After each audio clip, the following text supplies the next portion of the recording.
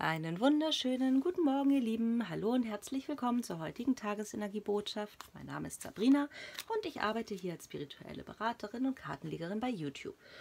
So, wir schauen jeden Morgen in die Energien hinein. Es ist ein Kollektiv-Reading. Das heißt, es kann auf dich zutreffen, muss es aber nicht. Und ähm, ja, wenn es heute nicht für dich bestimmt ist, dann ist es halt für jemand anderen.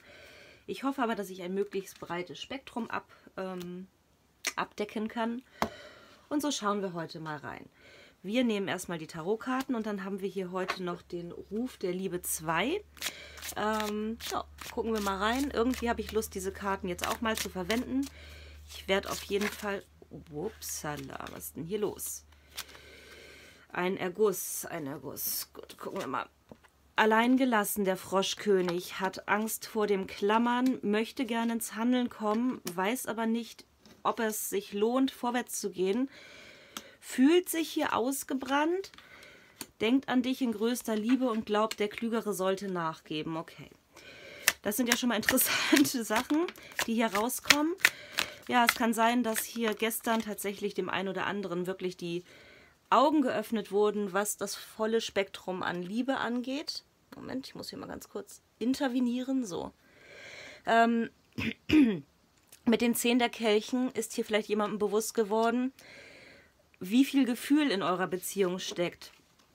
Wie sehr man es sich doch wünscht, hier zusammenzukommen in die Stabilität und dass es hier möglich ist, einen Neustart im Gefühlsleben zu implizieren. Es gibt noch Unklarheiten hier bezüglich, wie das ablaufen soll. Nehmen wir noch eine letzte Tarotkarte. Zehn Stäbe, es fühlt sich schwierig an. Es fühlt sich schwierig an, diesen Weg zu gehen in die Stabilität, wo so viel Liebe getragen wird. Gut. Ich habe das Gefühl, dass wir es hier mit einer Energie zu tun haben von einem Menschen, auf du, den du schaust. Ähm, hier hatte jemand Angst vor Bedrängung. Ja? Also hier haben wir es ganz klassisch mit einem Menschen zu tun, der bindungsängstlich ist. Das kann natürlich auch für dich stehen. Ich hoffe, ihr seht das so alles ganz gut. Ähm, es kann sein, dass hier jemand tatsächlich ziemlich bindungsängstlich war und dass du dann vielleicht auch gesagt hast, nee, weißt du was, das dauert mir hier alles viel zu lange. Dieses Gedöns, ich will nicht an dir rumklammern, aber wenn da nichts kommt, dann lasse ich dich halt gehen. Also so ein bisschen wie gut, ich habe es versucht, aber wenn nicht, dann nicht. Ne? So what? Und wenn du denkst, dass das da Liebe ist, was da zwischen uns passiert, dann ist es halt keine wahre Liebe. Ne? Er hatte das Gefühl, vielleicht du nimmst ihm die Luft zum Atmen und du hattest das Gefühl, er nimmt dir die Möglichkeit zu lieben. Und dann bist du gegangen, hast eine Entscheidung für dich getroffen, dass du diese karmische Verbindung nicht länger aufrechterhalten wirst, weil du das einfache Leben genießen möchtest. Ja, du möchtest es nicht immer kompliziert haben. Du möchtest, dass es einfach mal einfach ist. Ein einfaches Leben, eine einfache Beziehung, ein, ähm, ein leichtes Dasein, wo es nicht mit Sturheit, Egoismus, Rücksichtslosigkeit oder Machtspielchen verbunden ist, sondern wo das Leben nicht so schwer ist wie bei den zehn Stäben, wo man nicht immer irgendwelche Probleme mit sich rumschleppt, die aus Beziehungen resultieren können. So. Er weiß auch nicht so ganz, was er will. Er ist da hinter seiner coolen Fassade, wo er lieber allein sein möchte, total ausgebrannt, löst sich langsam in sich selbst auf und zerbröckelt dann. Das, Verspeck, das Versteckspiel sollte ein Ende haben und er sollte jetzt auch mal sein wahres Ich zeigen.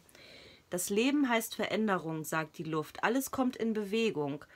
Er hat hier etwas gesehen und muss diesen Berg hier tragen sozusagen. Es kann sein, dass hier mit der Karte des Mondes auch noch die tieferen Beweggründe für diese karmische Verbindung tatsächlich verschüttet sind. Vielleicht weiß jemand noch nicht, wie er zu dir kommen soll, aber er hat die Entscheidung hier schon getroffen, ins Handeln zu kommen.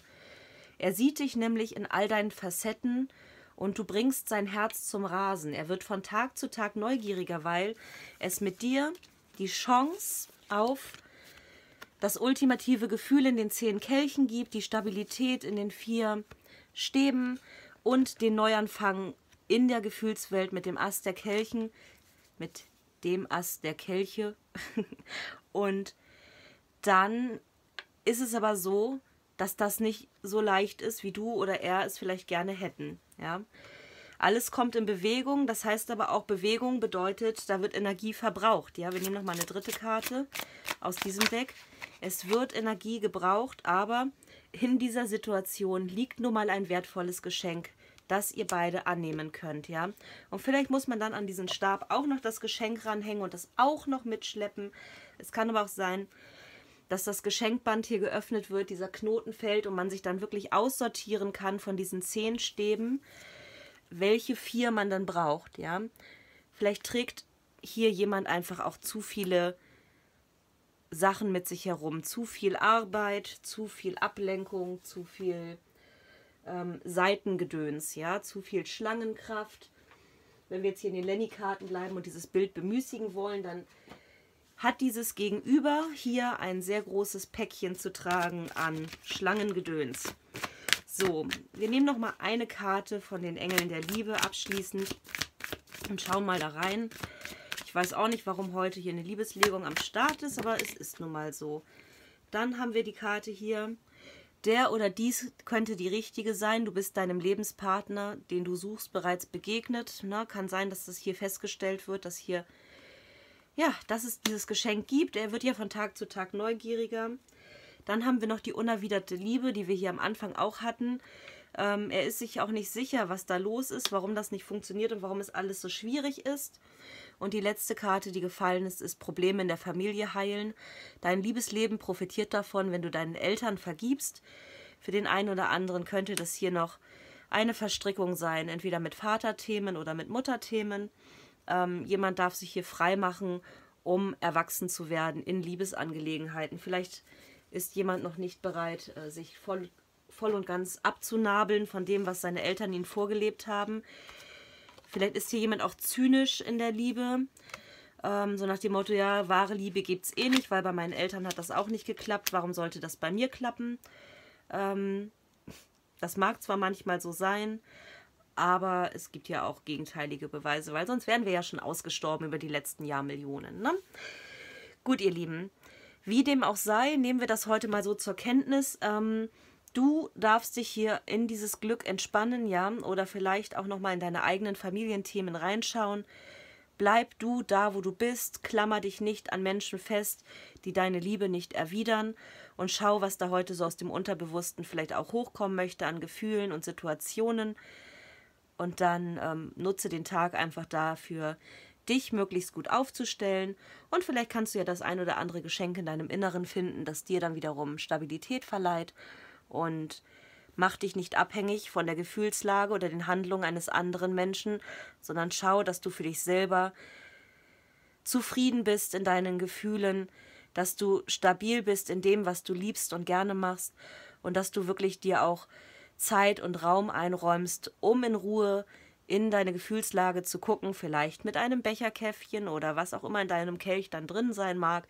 Vielleicht sinnierst du heute noch mal ein bisschen darüber, warum sich manche Wegabschnitte in Sachen Liebe so anstrengend anfühlen, warum etwas sich so belastend anfühlt und ob das wirklich notwendig ist oder ob du einen notwendigen Schritt zurück machen kannst, eine Umklammerung, eine energetische Umklammerung ähm, eines anderen Menschen vielleicht auch lösen kannst, um diesen Menschen freizugeben und zu gucken, was passiert, wenn er ähm, in seiner eigenen Energie selbstverantwortlich handelt dann kann es sein, dass er merkt, dass du die Richtige bist oder der Richtige und zurückkommt. Oder es ist halt eine unerwiderte Liebe, weil dieser Mensch einfach nicht bereit ist, ähm, seine eigenen Themen zu bearbeiten. Dann bist du aber frei, hier die Liebe in voller Stabilität auch zu empfangen, vielleicht auch durch andere Menschen, ja. Gut, ihr Lieben, das war's für heute. Gehabt euch wohl. Ich freue mich drauf, wenn wir uns später vielleicht nochmal sehen oder sonst morgen. Bis dann. Ciao, ciao.